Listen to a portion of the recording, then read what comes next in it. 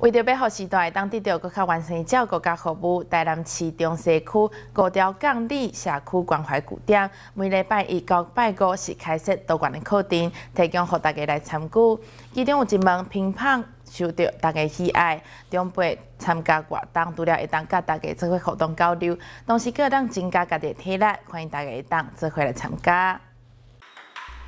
一下刷正平，一下刷倒平，动作速度拢真美丽。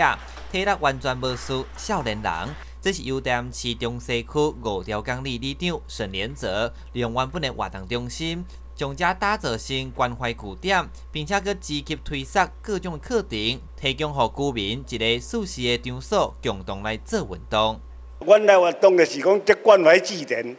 就是要这老人啊，开会、啥动作、运动拢有啊。啊，做我会组织这个屏幕，就是这老人会当来泡球。来遮健康运动，哦，这是我的宗旨啊！哦，我今年八十岁，我嘛是上管的话，我带动遮，哦，我是我是这个拍屏幕的小组个对啦，组长安尼啦，哦，啊，遮大家拢到遮已经动我免两动啊，啊，大家为了健康来啊。因为听讲五条里港才有办这个活动啊，场所也不错，有冷气吹，而且空间蛮宽敞的，有同好啊，就过来了。心得就是得到健康，又得到消遣。OK，很 OK。